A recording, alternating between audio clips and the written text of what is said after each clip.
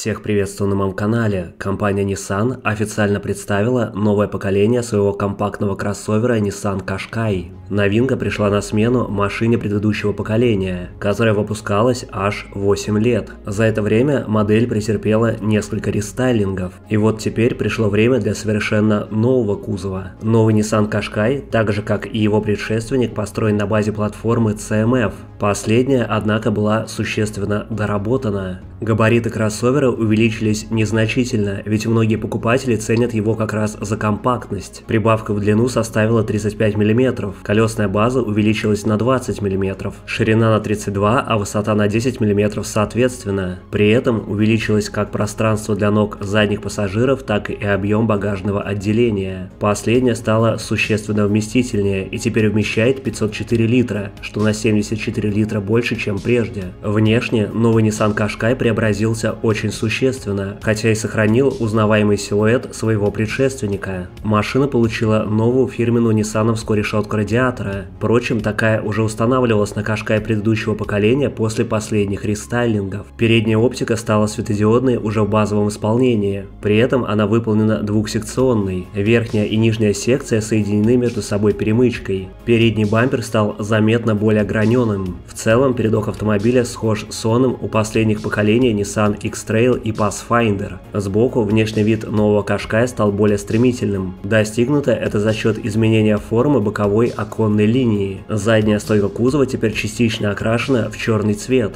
Сзади новый Nissan Qashqai имеет больше всего сходства со своим предшественником. Форма задних фонарей осталась практически без изменений. Они, естественно, также полностью светодиодные. В топовых исполнениях для нового Qashqai можно будет заказать 27-дюймовые колесные диски. На начальном этапе для нового Кашкая будет предлагаться 11 вариантов цветов окраски кузова. При этом будет доступен и двухцветный окрас, при котором крыша автомобиля будет окрашена в контрастный черный цвет. Интерьер нового поколения кроссовера преобразился очень сильно и фактически не имеет ничего общего со своим предшественником. По оформлению он куда ближе к старшему Nissan X-Trail.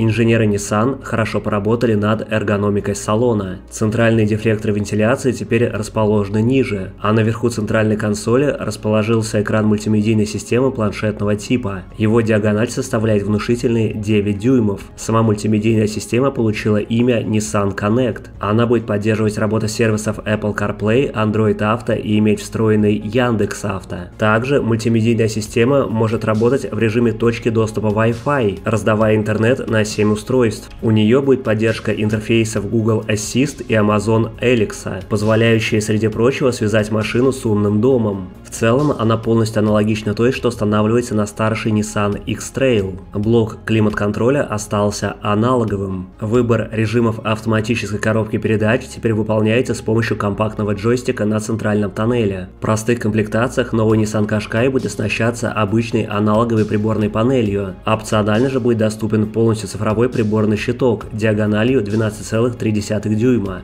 Также для нового Qashqai можно будет заказать проекционный дисплей на 10,8 дюйма. Среди прочей информации водитель сможет выводить на него подсказки навигационной системы и электронных ассистентов. Как на переднем, так и на заднем ряду появились разъемы USB-A и USB-C. Опционально для кроссовера будет доступна отделка салона кожей Nappa и передние кресла с функцией массажа. Естественно, все в порядке и с оснащением автомобиля средствами активной и пассивной безопасности. Помимо полного набора аэрбэгов, включая подушку, расположенную между передним водителем и пассажиром, и препятствующую их сталкиванию между собой при ДТП, кроссовер будет оснащен системами ABS, ESP и адаптивным круиз-контролем. Опционально же будет доступен комплекс систем активной безопасности Nissan Pro Pilot. Он может распознавать дорожные знаки, притормаживать перед перекрестками и круговым движением вплоть до полной остановки а затем самостоятельно начинать движение. Кроме того, у этого комплекса есть функция связи со штатной навигацией и может вести машину самостоятельно в пределах полосы.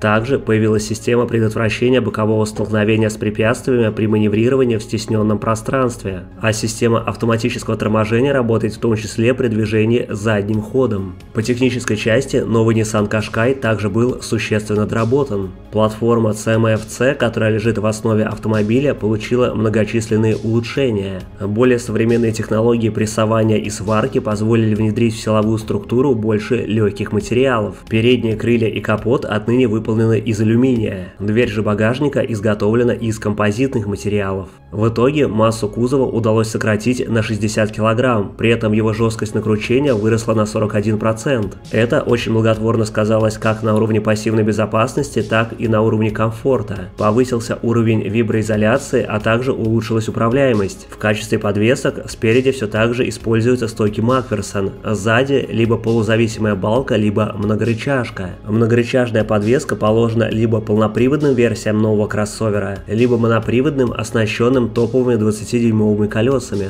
Электроусилитель руля был модернизирован для улучшения отклика и большей четкости в около нулевой зоне. Кашкай, оснащенный системой полного привода, получил модернизированную муфту включения задней оси. Она срабатывает на 0,2 секунды быстрее прежней. Для водителя доступен широкий перечень работы трансмиссии, среди них стандартный, экономичный, спортивный, снежный и внедорожный. На европейском рынке новый Nissan Qashqai получит современные силовые агрегаты.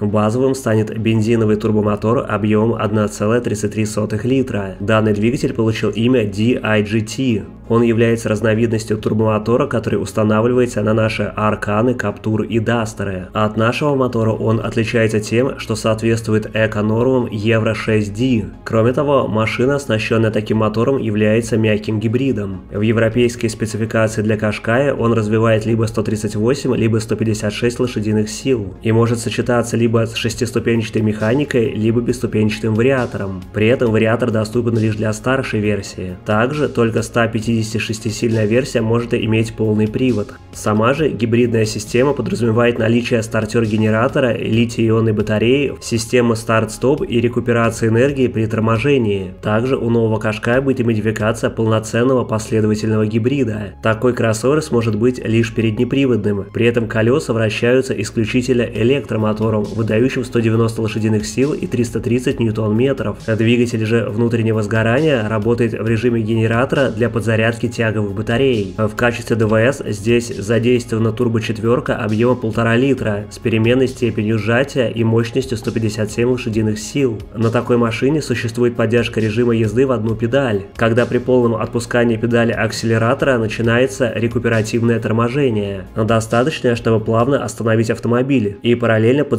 тяговые батареи. Педаль тормоза нужно будет задействовать только при интенсивном торможении. В России же новый Кашкай должен получить куда более простую гамму двигателей. Базовым должен стать атмосферный мотор 1.6 на 114 лошадиных сил. Он будет сочетаться либо с шестиступенчатой механикой, либо вариатором. Такой мотор уже предлагался на Кашкай первого поколения. Однако на втором кузове вместо него устанавливался турбомотор объемом 1,2 литра, от которого в данный момент Nissan решил отказаться.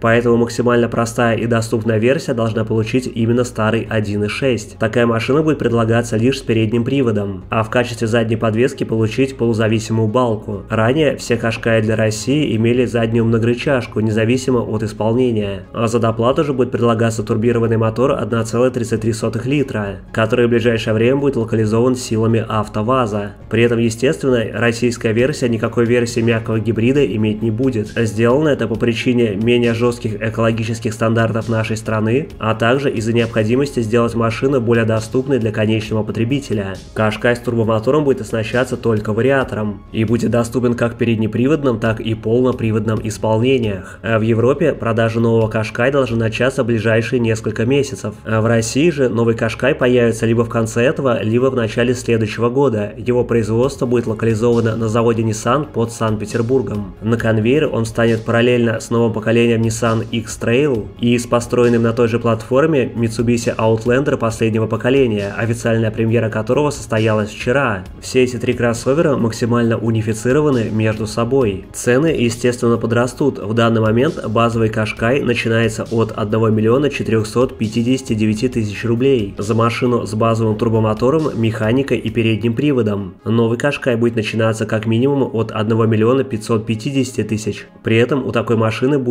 более простой атмосферный 1.6. Кашкай с турбомотором и вариатором будет не купить дешевле, чем за 1 миллион 850 50 тысяч, а максимально нафаршированные версии нового кроссовера обойдутся приблизительно в 2 миллиона 300 тысяч рублей. При этом, конечно, такая машина будет куда лучше оснащена, чем текущий топовый Кашкай. Напишите, пожалуйста, в комментариях, нравится ли вам новый Nissan Кашкай, будете ли вы его ждать и планируете ли купить себе. У меня же на данный момент это вся информация о новинке. Подписывайтесь на мой канал, чтобы быть в курсе всех актуальных новостей автопрома. У меня же на этом все. Огромное вам спасибо за просмотр, удачи и пока.